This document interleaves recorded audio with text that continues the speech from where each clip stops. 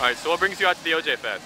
Um, tonight I'm gonna be performing. I got a single called "What Up," and it's a good environment. It's a real nice vibe. It's a, a positive atmosphere. I think everybody should be a part of it, and I felt as if. I What brings you out to the OJ Fest?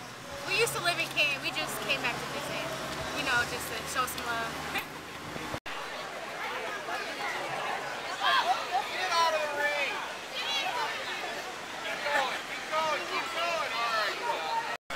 I Alright. came for the three on three tournament and uh, for the, the preaching earlier.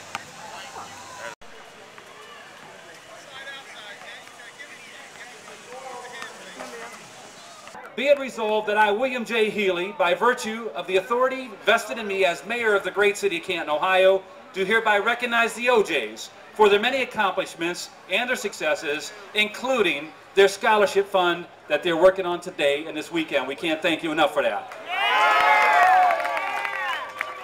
This is an honor they truly deserve. Congratulations and thank you so much for returning to Canton.